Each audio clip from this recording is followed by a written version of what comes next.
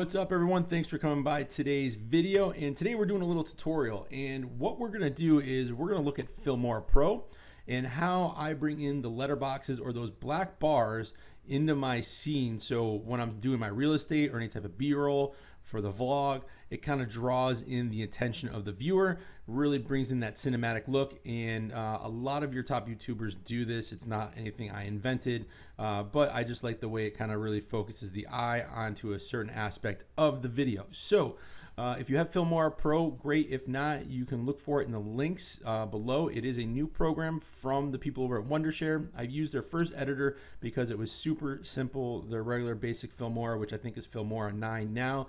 And um, for me, I just needed something with a real short learning curve.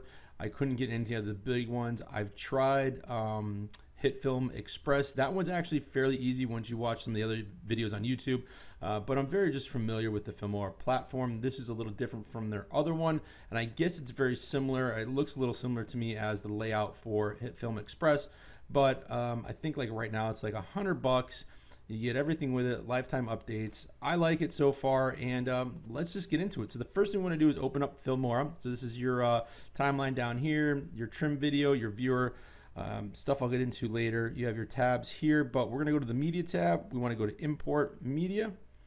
And let's see here. I need to go to my clips and we're just going to take a clip here of beer being poured.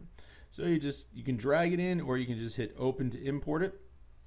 And then once it's imported, you're just going to drag it over to your timeline. And uh, if you go down here, these little mountains are, you can make the timeline bigger or shorter, like kind of zoom in, make it a little easier to work with. So what we want to do is we want to bring in the black bars. So what we're going to do is we're going to go over into the effects and type in letter.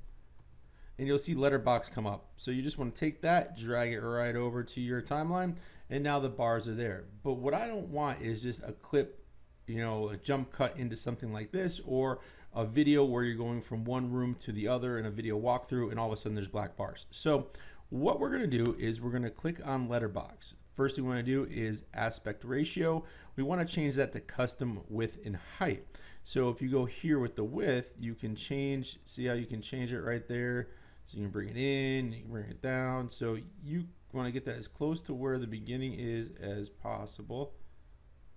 So let's just say right there, and you can do the same thing with the height. So what you want to do is bring it to the beginning of the video. So say we're going to play the video, and right about there, it starts to like pour, starts to freeze. So we're just going to do something very simple right here where it says width. We're just going to click on that. It's going to make a keynote, I think is what they call these things. Um, yeah, a keyframe. Keyframe. I don't know why I'm calling it keynote, but a keyframe right there. And then what you want to do is you want to bring it forward. Let's say right about here for a little bit. And you just want to click on the little slider bar here and bring it to where you want that black lines to be depending on your thickness. Now you'll see right here it makes another uh, keynote. Why do I, um, is that the right term? Yeah, keyframe. I don't know why I keep calling it a keynote. My world's keynote, the real technical term is a keyframe. So what happens when you play this video back and uh, you hit play,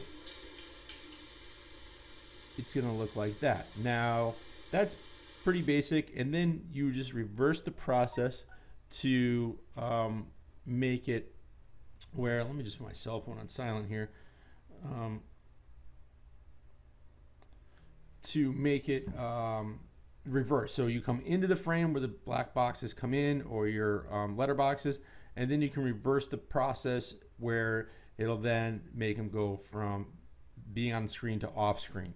And that's pretty much how you do it. It's pretty simple. Um, there's really not much to it. It's no fancy tricks, and that's just how it works. And then you just hit play, and as it's going through your video, it fades in softly, and then again you can have it fade out, and then that'll be through the rest of the film, or for that clip, it'll have those bars unless you put in another keyframe and change it. So that's it guys it's a short video it's pretty easy to do uh, let me know what features you like about the new Filmora Pro or the Filmora 9 let me know if you'd like to see any other type of uh, tutorials like this.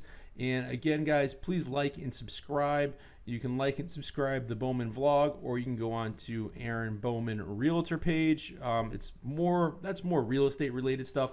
This one here is kind of our family vlog and tutorials and stuff like this for video making. But uh, hope that helps you guys. Um, you know, there's a lot you can do with uh, the keyframes. So I'm doing another video shortly on um, the audio because you can do the audio fade and stuff like that. So thanks for watching, and uh, we'll see you in the next video.